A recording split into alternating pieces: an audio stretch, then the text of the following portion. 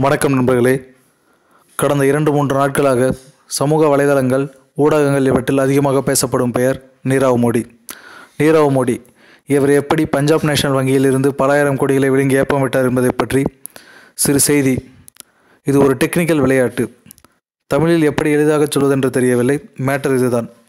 நீராவி நிறுவனங்கள் வெளிநாட்டிலிருந்து வைரம் சம்பந்தப்பட்ட பொருட்களை வைரத்தையும் சேர்த்து இறக்குமதி செய்து உலகளாவிய அவர்களுடைய ஸ்டோர்களில் சாதா நகைகளாக டிசைனர் ஜுவல்லரிகளாக விற்கிறார்கள் இதுதான் தொழில். இதில் இறக்குமதி செய்யும் போது விற்பவருக்கு பணம் கொடுக்காமல் அவர் அதை அவருடைய இடத்திலிருந்து ஏற்றுமதி செய்ய மாட்டார். ஆகவே நூறு சதவீதம் அட்வான்ஸ் இல்லாமல் இது நடக்காது. இந்த நூறு சதவீத அட்வான்ஸ் தருவதே வழக்கமாக எல்சி என்றழைக்கப்படும். அதாவது லெட்டர் ஆஃப் கிரெடிட் என்பார்கள். ஆனால் எல்சியில் இருக்கும் சிக்கல் நூற்றி பத்து சதவீதம் வங்கியில் வைத்தாலே ஒழிய நூறு சதவீதம் எல்சி வங்கி தராது. எல்சியை இரு நாட்டு வங்கிகளும் செக் செய்ய முடியாமல் பொருள் நகராது. இதுதான் நடைமுறை. நீரவ் மோடியின் மீதும் வங்கி ஊழியர்கள் மீதும் சுமத்தப்பட்டிருக்கும் குற்றம். இந்த நடைமுறையை மீறி எந்த கொலெக்டரலோ வைப்பு நிதியோ இல்லாமல் ஓட்டைகளை பயன்படுத்தி பணத்தினை வெளியே அனுப்பியது.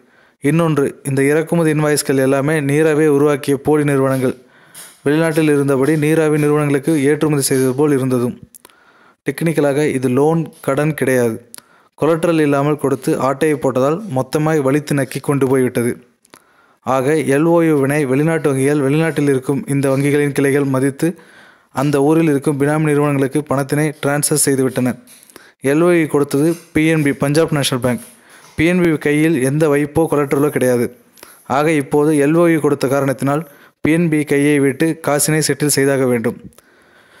குறைவான லஞ்சம் ஊழல் படைபலத்தின் பெரும்பகுதி பணம் சுவிட்சர்லாந்திலோ கேமன் தீவிலோ பிரிட்டிஷ் விர்ஜின் தீவிலோ ஜெர்சியிலோ இப்போது சம சாமர்த்தமாக இருக்கிறது. நீரவ் இந்தியாவில் இல்லை கொலட்ரல் கையில் இல்லை பிஎன்பி சிபிஐக்கு போய்விட்டது. இனி இனிமேல் அனுமார் வால் போல நீளும் மேட்ரு இவ்வளோதான் கீ பாயிண்ட்ஸ் இவைதான்.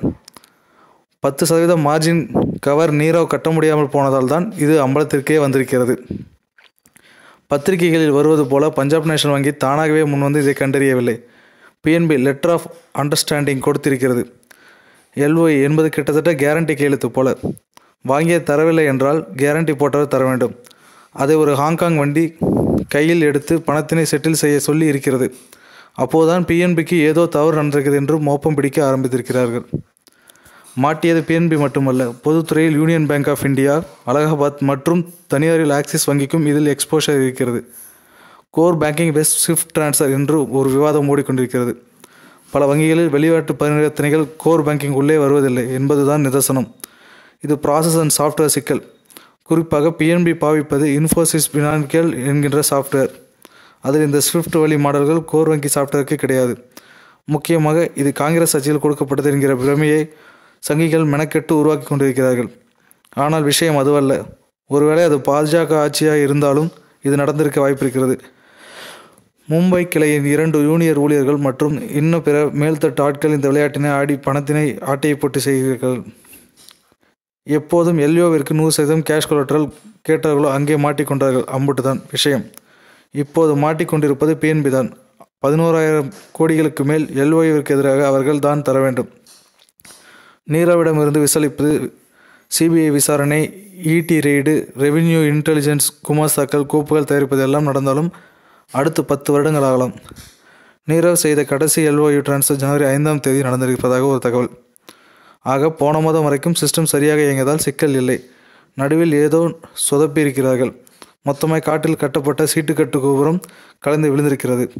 இப்போது இது சம்பந்தப்பட்ட ஆட்கள் washing their dirty linen in public மேலும் பிஎன்பி சிபிஐயிடம் கொடுத்திருக்கும் புகாரில் குறிப்பிட்டிருக்கும் தொகை வெறும் இரநூத்தி எண்பது கோடிகள் மட்டுமே. பதினோராயிரத்தி நானூறு கோடிகள் கிடையாது. நீரவ் குடும்பத்தோடு பெல்ஜியத்தில் இந்த இருந்து ஹாயாக ஏதாவது ஒரு ஏரியில் மீன்பிடித்து கொண்டிருக்கலாம். இதுதான் நமது ஜனநாயகம். வாழ்க ஜனநாயகம். நன்றி.